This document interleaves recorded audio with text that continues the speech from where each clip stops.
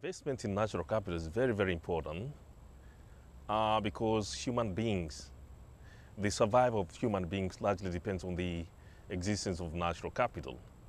But despite this uh, understanding, it's very unfortunate that human beings have been at the forefront in the destruction of the natural capital.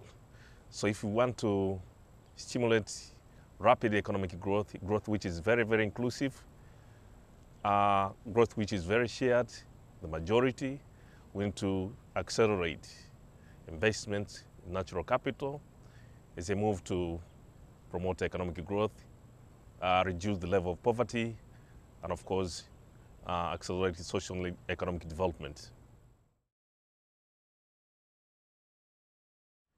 The, the, the, typical example of natural capital investment will be in the area of uh, uh, land degradation.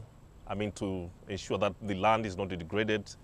But again, uh, for example, deforestation, we have to ensure that uh, our forests are not de destroyed because uh, the forest, the, the source of rain, the source of livelihood, and economic activities in general.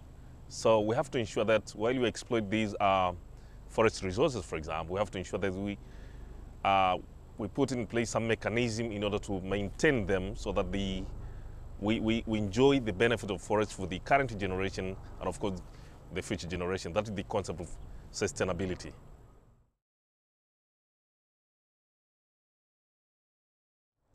There are many ways that can be used to finance our natural capital.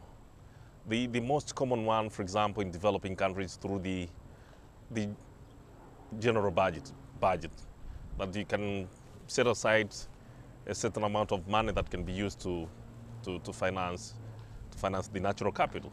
But of course, you see, uh, given that the mega resource that these countries, for example, developing countries, they are facing, uh, it becomes very, very difficult for for, for, for the national budget to, to finance this natural capital.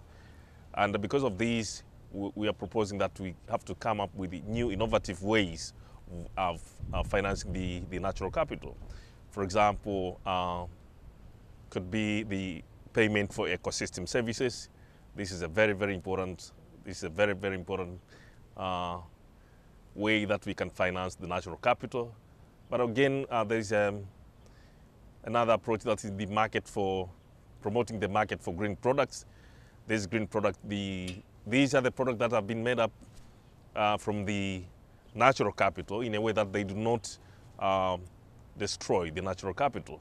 So one way would be to promote, to promote the use of the uh, market for, for, for green products. And of course, again, we have to move on the global agenda, trying to initiate uh, to initiate and to, to strengthen further the, the already funds for, for financing, for example, the climate change and uh, uh, the general, the general uh, change in the, in the environment that we are living.